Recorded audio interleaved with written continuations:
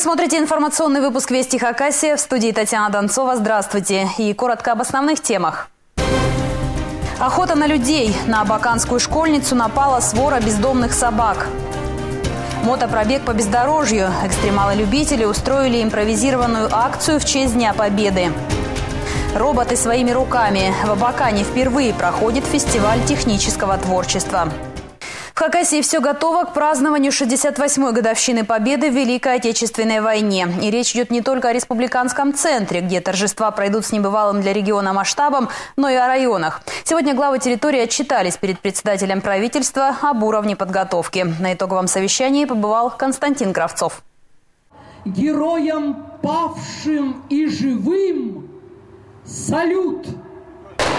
Автоматные выстрелы гремят в Абакане едва ли не каждый день, но здесь никакой тревоги, все торжественно. Многим известно, что Республиканский день Победы в этом году поменял формат. Кроме традиционного ритуала памяти у Вечного Огня, впервые торжественный парад на Первомайской площади. Участие в нем примут полтысячи военных. Об этом сегодня говорили в Сером доме.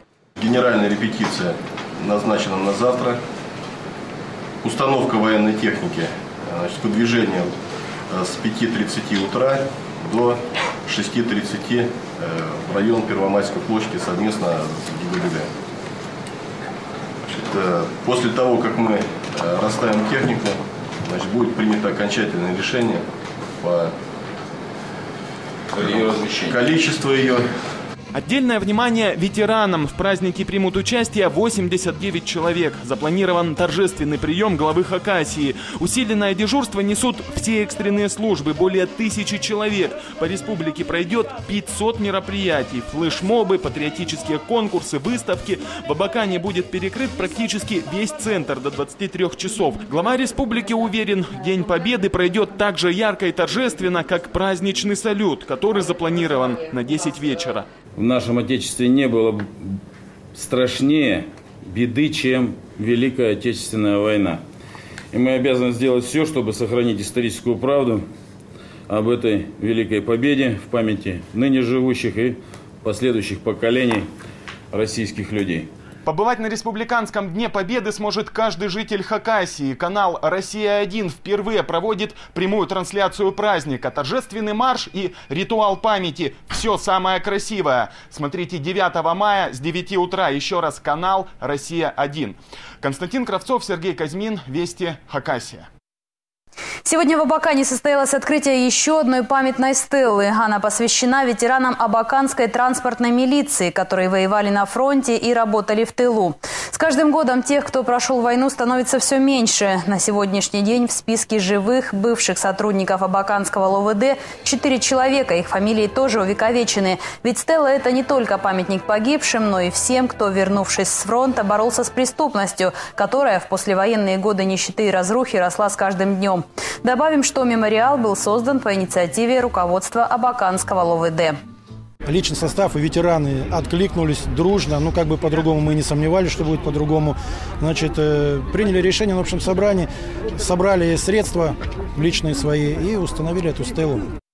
Фрагменты фронтовых писем и воспоминания участников Великой Отечественной войны из Хакасии стали основой для нового сборника документов, подготовленного Национальным архивом республики. Книгу выпустили ко Дню Победы. Сегодня состоялась ее презентация. В Национальном архиве Хакасии хранятся более 400 документов, переданных на хранение самими участниками войны и их потомками. Сотрудники архива занимаются сбором материалов уже 15 лет. Особенно бережно хранят письма. Чернила, которыми они написаны, уже практически выцвели.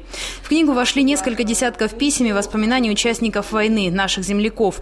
К примеру, Николай Журавель прошел всю войну. В сборнике опубликованы его воспоминания о буднях партизанского отряда, где он воевал. Ветерана уже нет в живых. На презентацию пришла его дочь. Огромное спасибо, что помнят, что помнят наших родителей. Вечная им память. Хотелось бы, чтобы молодежь побольше узнала, чтобы эта информация доходила до наших молодых людей, потому что они должны помнить. Они живут сейчас в такое время благодаря нашим родителям. Сборник вышел небольшим тиражом. Первые экземпляры подарили ветеранам и их родственникам. Но познакомиться с письмами и воспоминаниями фронтовиков сможет каждый желающий. По одной книжке передадут во все городские и районные библиотеки Хакасии. Дорога в школу едва не закончилась трагедией для десятилетней девочки. На ребенка напали бездомные собаки. Стаи бродячих животных на улицах города – картина привычная, но иногда крайне опасная. Как защитить себя и своих детей? В материале Олеся Калиниченко. Этим утром даже в школу опоздала. Недалеко от дома на нее напала стая бездомных псов. Девочке повезло. Рядом оказались взрослые люди, которые смогли отогнать собак. Я думала, они пробегут мимо, но одна из собак начала лаять, набросилась на меня – и пыталась меня укусить. Мне стало очень страшно, я позвонила папе. Когда отец девочки выбежал на улицу, ребенку уже ничего не угрожало, хотя нет никакой гарантии, что ситуация не повторится. Бездомных псов в этом дворе видят часто. Самым проблемным районом считается Нижняя Согра. Здесь каждый год стаи бродячих животных пополняют брошенные дачные собаки.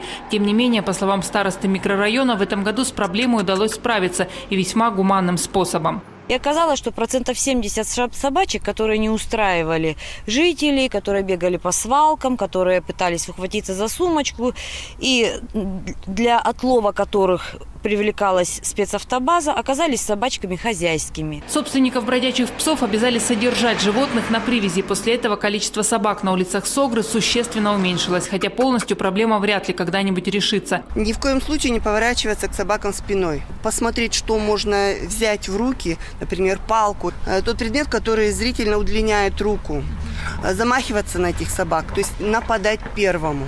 В любой стае есть вожак – и вот на эту собаку направить свой акцент э, в плане нападения. Вот. И если эта собака ретируется, то однозначно все другие тоже уже будут отходить.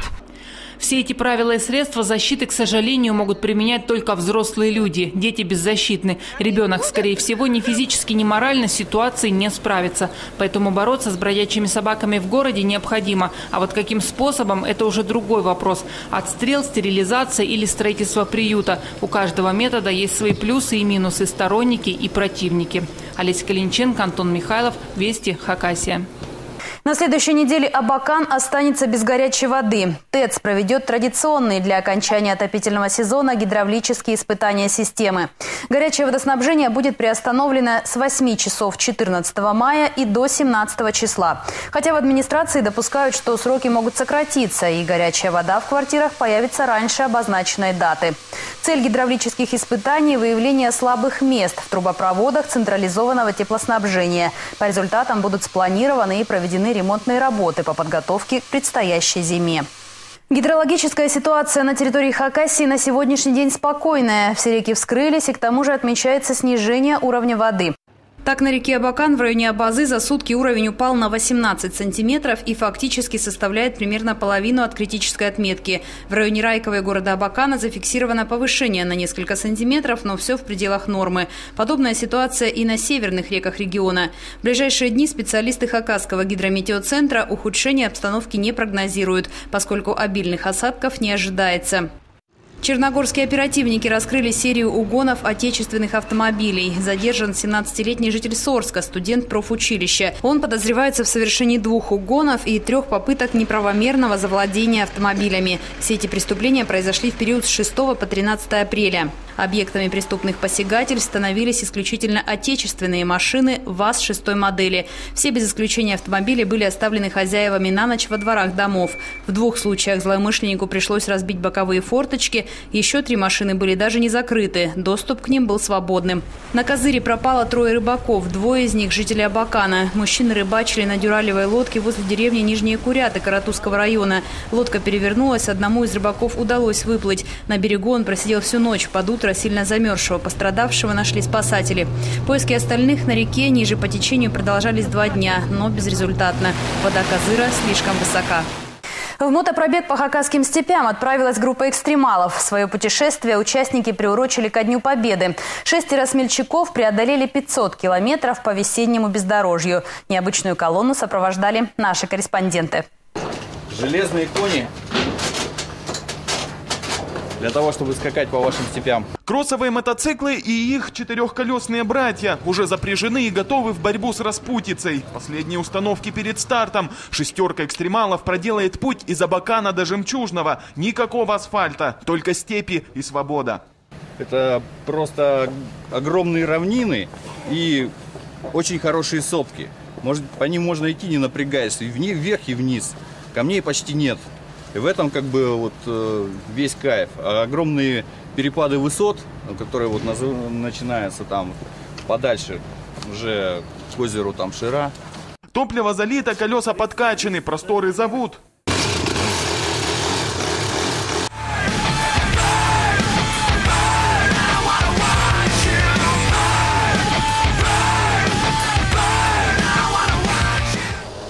Жизни каждый из них далеко не экстремал, в большинстве предприниматели. Свою экспедицию, конечно, посвятили годовщине Великой Победы 9 мая, но этот заезд еще и повод в очередной раз доказать другим и дать пример. Движение – жизнь. Кто-то отдыхает на диване, пьет, колется, а мы, вот группа друзей моих, неформалов, решили прокатиться по Хакасии.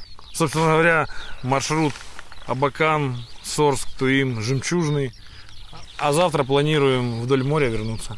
Интервью Евгений давал на Красном озере, близ Абакана. Отправиться дальше по бездорожью в горы наша съемочная группа без внедорожника не рискнула. Но а эти ребята уже заявили, в этом сезоне будет еще не один заезд. А там, глядишь, и единомышленников прибавится. Константин Кравцов, Владислав Пустовойт, Вести, Хакасия. 7 мая вошло в историю мировой науки и техники как день рождения радио. В 1895 году физик Александр Попов продемонстрировал созданный им первый в мире радиоприемник и осуществил первый сеанс радиосвязи. В связи с этим 7 мая по традиции отмечают праздник работники радио, телевидения и всех отраслей связи. Вполне возможно, в историю войдут и школьники, которые сегодня собрались на первый фестиваль технического творчества. В Абакане, впрочем, как и в Хакасии, подобное мероприятие проводится впервые, рассказывает Ольга Стельмах. Базой для фестиваля стала 14-я Баканская школа. Несколько лет назад это учебное заведение выиграло грант. На деньги закупили запчасти и оборудование, открыли занятия для своих учеников. Сегодня на фестивале школа принимает учащихся со всего города. В первый день команды должны собрать роботов и как можно точнее их запрограммировать с помощью компьютера. Затем модели, оборудованные мотором и световыми датчиками, испытывают на специальных трассах. Все участники фестиваля – это неподготовленные новички. Ранее школьники не занимались техническим творчеством. Это опыт первый. Конструированием неожиданно для организаторов заинтересовались и девочки. Мне с детства интересно всяких роботов собирать. Мне никогда не получалось. А вот сейчас получилось. Самое интересное – это когда он ездит. У него датчик, он ловит цвет, и тогда он едет чисто по цвету нужному. А когда сбивается, пытается его найти. Вот на компьютере там программу надо устанавливать, чтобы он ездил по цветам, определенным цветам двигателей и все остальное. Вот это очень сложно. Этому надо учиться, чтобы кто-то объяснял. А вот мастер-классы для них проводят призеры всероссийских соревнований. Один из них – ученик 14-й школы Андрей Иванов. Он конструирует уже два года и уверен, увлечение выльется в его профессии. Да и в практическом применении будет полезно. На складах, например, э, тот же самый взять сортировщик шариков, вот он сортирует примеры из Лего. Вот на фабрике конфеты там или еще какие-нибудь детали раскладывает. И э, потом э, э, робот, например, который едет, э, ну, с датчиком, с ультразвуковым, то есть датчик расстояния. Вот он э, пешехода увидел, остановилась, то есть машина. То есть ну, практическое применение, так сказать. Завтра во второй день фестиваля пройдет конкурс. Команды покажут, на что способны их роботы. А жюри определит победителей. На следующий же год планируют организаторы программу, а вместе с ней количество участников расширят. И это все на сегодня. Напомню, новости можно узнавать на нашем сайте вестихакасия.рф. Хорошего вечера. До свидания.